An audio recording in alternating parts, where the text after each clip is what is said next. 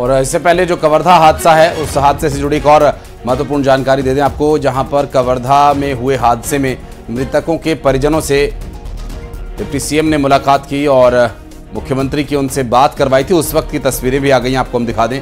ये हादसे के बाद जब परिजनों से मुलाकात करने पहुँचे थे डिप्टी सीएम और मुख्यमंत्री से उनकी बात कराई और जो आर्थिक सहायता दी जाएगी उसके बारे में उन्हें ढांढस बंधाया और ये बेहद दुखद हादसा, जहाँ इस हादसे में 19 लोगों की जान चली गई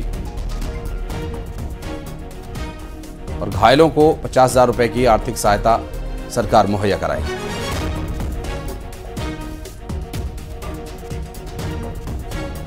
के कारण ऐसा हुआ, बता रहे हैं। और उन्नीस अठारह उन्नीस लोगों की मृत्यु हुई है। महिलाएँ सर्वाधिक हैं उसमें। और बहुत ही बड़ा दुख है। भाई सिमरहा एक ही गाँव में सारे लोग हैं। बहुत बड़ा दुख का विषय है तेंदुपत्ता के लिए हर साल आते थे।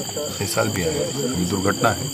जो भी सहयोग परिवार को करना है वो वक्त करेंगे। ही। मतलब आर्थिक सहयोग बड़ी नहीं है कई विभाग मैंने अपने तेंदुपत्ता संग्राहक परिवार है। संग्राहक परिवार की अपनी अलग योजनाएँ अगर संग्राहक परिवार का मुखिया होता है तो उसको चार लाख मिल जाता है। और अगर पचास साल से नीचे का है तो और पचास साल से ऊपर का मुखिया है तो पचहत्तर हज़ार मिलता है। सदस्य हैं तो उसके कुछ और राशि है। और अब बात करेंगे खंडवा की, जहाँ भीषण हादसे में दो युवकों की मौत हो गई है। ट्रॉले से बाइक